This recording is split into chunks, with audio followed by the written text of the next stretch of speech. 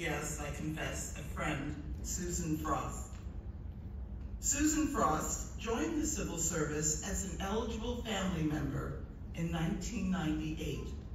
She served in family member positions around the world, from Brasilia to Tijuana.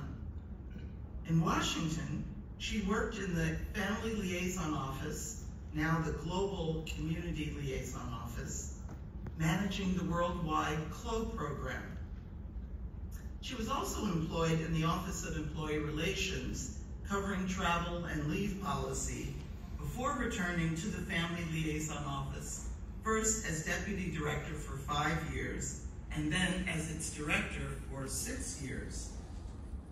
She retired from federal government employment in 2019 after a 21-year career and now volunteers at a local free clinic, sings with two choral groups, and of course enjoys traveling.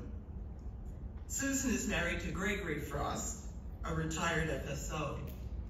They have three children and four grandchildren. As a CLO, Susan